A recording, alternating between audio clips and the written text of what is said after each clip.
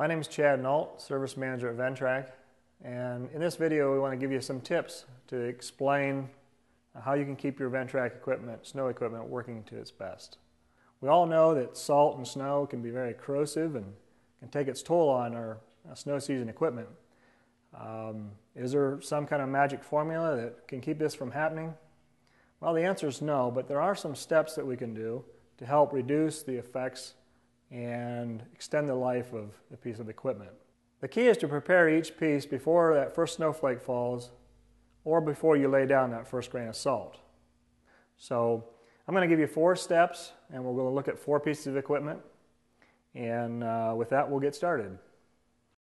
The first thing we're going to do is wash the equipment off to get rid of any salt or dirt that's left on from the last season. Washing can be done with uh, spray cleaner, soap and water, and a pressure washer, or even a bucket uh, with a soap and a scrub brush. Uh, main thing is you just want to get the product clean. After washing, allow the piece to dry completely. Uh, you can speed up the drying process by blowing it off with an air hose, uh, especially in some of the areas that might hold water.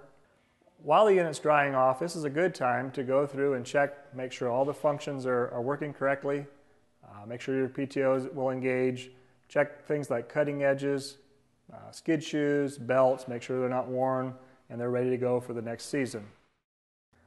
Next, we want to apply dielectric grease to any terminals that might be exposed to salt and moisture.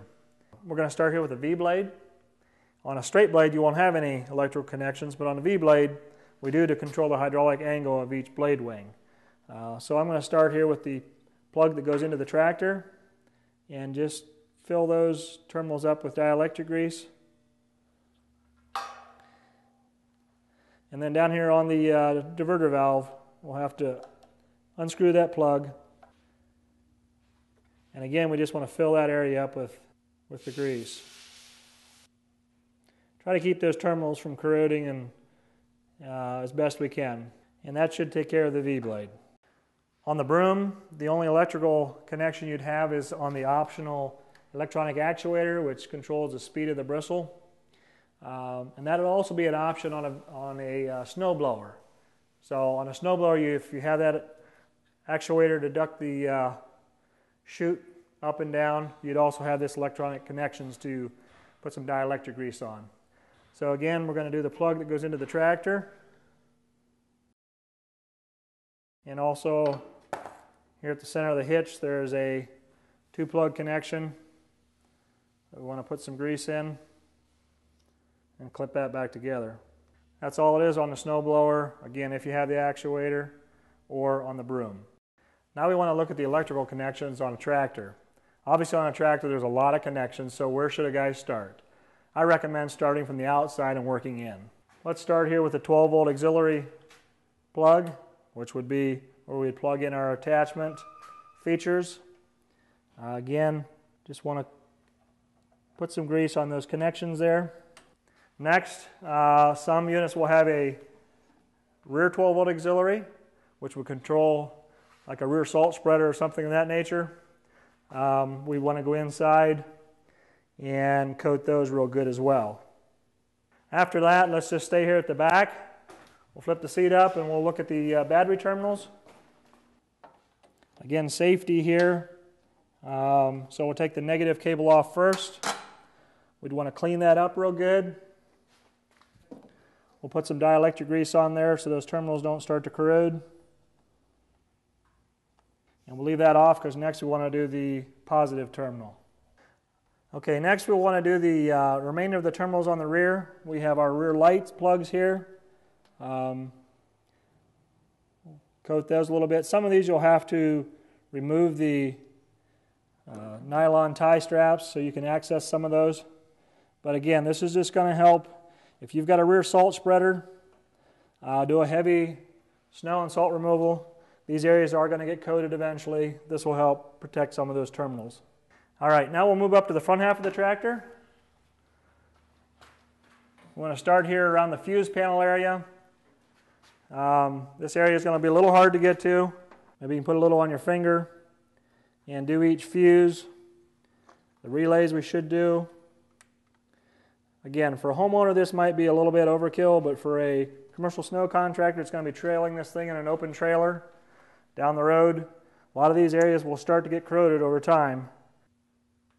Putting some dielectric grease in those terminals will keep that unit running and uh, may eliminate a, some downtime for you. Again, we've got relays in here, half second delay, glow plug timer. Those areas should be greased. From the fuse panel area under the dash, we want to move up to the engine connections. On the left side here, we'd have the starter, we have the alternator. Um, I'm just going to coat this. This looks really good. Just coat this to help try to keep out any corrosion. Down here in the starter, we have the start switch.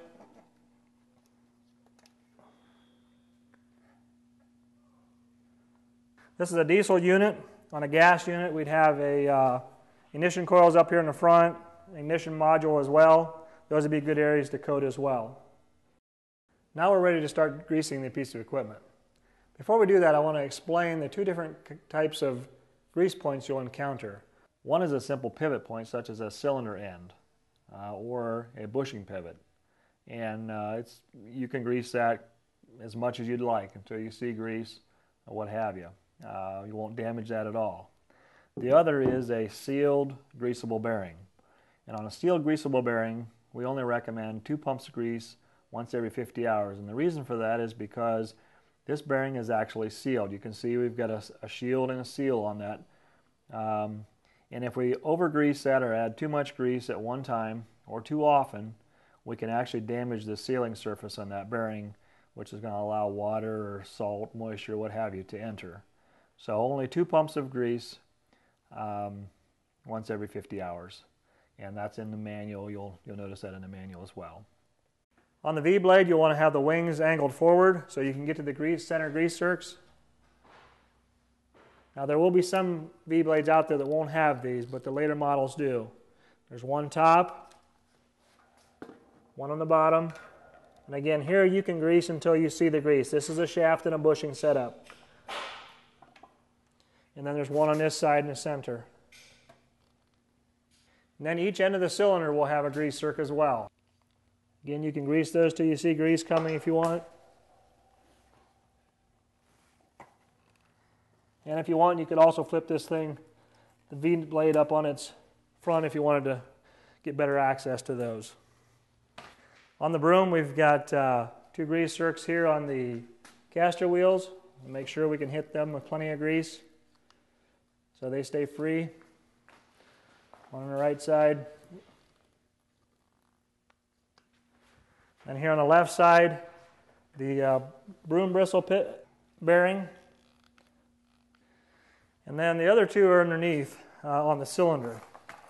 We'll need to flip the unit up to get to those. And actually, the one you uh, cannot access without dropping down this here uh, hydraulic oil drum, but the main one you can. Get that one greased good. Here on the snowblower, we only have greasable seal bearings. So like I mentioned before, we only want to give it two pumps of grease once every 50 hours. There's two here on the uh, blower jack shaft. You have one on either side of the uh, snowblower auger.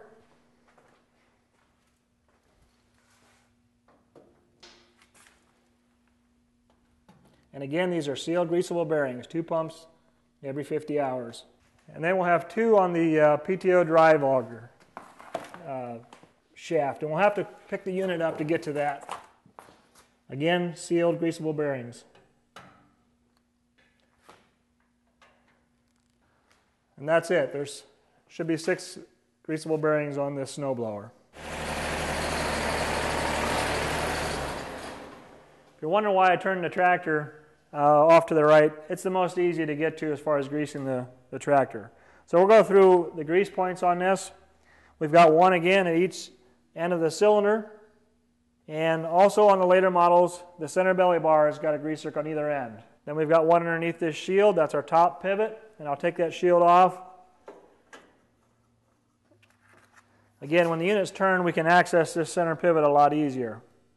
And this is not a sealed bearing per se, so we can give this quite a number of pumps Um, fill that area up a little bit. no seal bearings on this tractor. Everything is just an open pivot. Once you see a little grease, that should be good.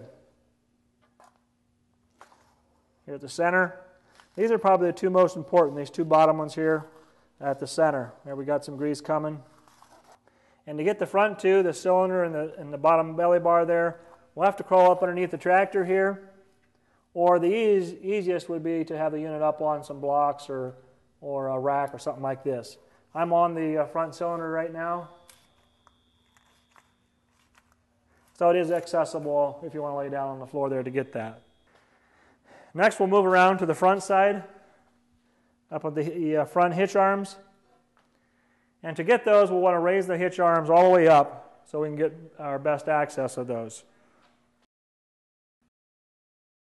If your equipment has the optional three point, you'll have three grease zerks on it. You'll have two at the top on the uh, pivot points, and then one down lower on your uh, cylinder. So three, three grease points on that.